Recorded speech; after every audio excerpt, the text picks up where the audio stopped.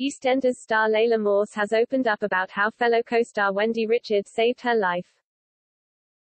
Laila, who plays icon Mo Harris, features in this year's celeb lineup for ITV's Strictly the Real Full Monty. During an interview, she broke down in tears as she discussed a moment with her best friend Wendy Richard, who played Pauline Fowler in the soap. After finding a lump on her breast in 2000, Laila was persuaded by Wendy to go to the doctors. Laila was diagnosed with breast cancer, but because the lump was found early, it was treatable. Laila said how she didn't think she would still be here if her friend hadn't convinced her to visit the doctor.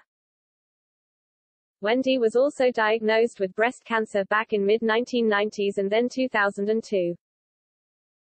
She died in 2009 after battling the illness.